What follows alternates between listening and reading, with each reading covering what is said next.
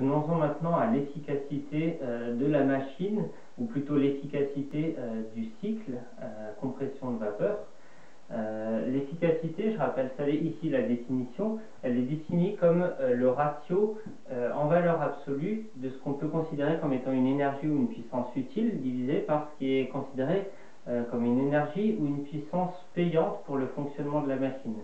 on a donc ici une définition qui est plus économique que d'ingénierie, on va euh, catégoriser euh, les différents échanges d'énergie que peut avoir notre machine, soit comme étant utiles, soit payants, ou dans un troisième cas neutre, euh, sachant que les transferts d'énergie neutre n'interviendront pas dans le cadre de la définition de l'efficacité.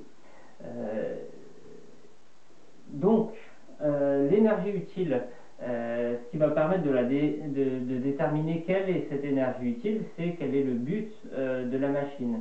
Et dans ce cas-là, on doit d'abord euh, poser quel est l'objectif donc de, ces machines. Et une machine à compression de vapeur peut avoir deux objectifs. Soit son objectif, ça peut être de retirer de la chaleur à la source froide, c'est ce qu'on appelle une machine frigorifique. Euh, soit son objectif peut être de donner de la chaleur à la source chaude et c'est ce qu'on appelle une pompe à chaleur. Ces deux machines euh, ont un fonctionnement identique mais on ne va pas valoriser euh, le même transfert de chaleur en fonction de la machine.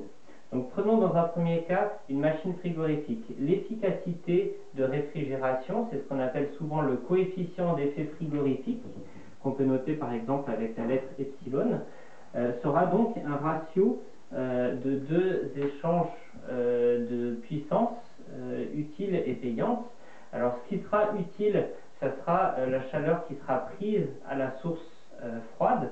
Donc en prenant la notation qu'on a eue dans notre précédemment, c'est la, quantité de chaleur extraite entre D et A. Et euh, l'énergie payante, euh, c'est l'énergie qu'on va devoir fournir par l'intermédiaire d'un moteur électrique au compresseur, étant donné que dans un frigo, c'est bien la facture électrique euh, qui paye la consommation d'énergie du dit frigo. Et donc, ça sera le travail technique, ou ici, si on est en puissance, la puissance technique échangée entre A et B et donc fournie au compresseur.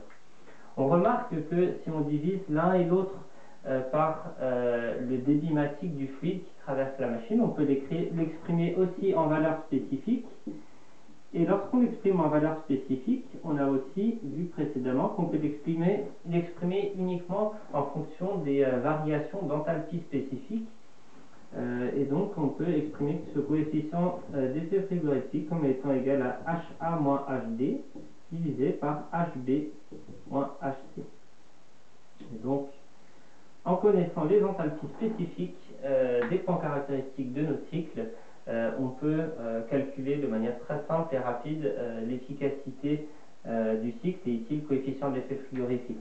Pour ce qui est d'une pompe à chaleur, l'efficacité s'appelle le COP ou le coefficient de performance et cette fois-ci, l'énergie payante sera toujours la même la puissance technique échangée entre A et B, c'est-à-dire au bornes du compresseur. Par contre, l'énergie utile sera différente. Cette fois-ci, le but, c'est l'échange de chaleur au niveau du condenseur sur la chaleur qui va être donnée à la source chaude. Et donc, ça sera la valeur absolue de cet échange entre B et C. Je place ici une valeur absolue parce que toutes les autres grandeurs jusqu'à présent étaient positives. Et donc, on peut l'écrire de la même manière uniquement en valeur spécifique si on divise le numérateur et le dénominateur euh, par euh, le débit massique de fluide et on peut exprimer euh, ceci en fonction des enthalpies spécifiques.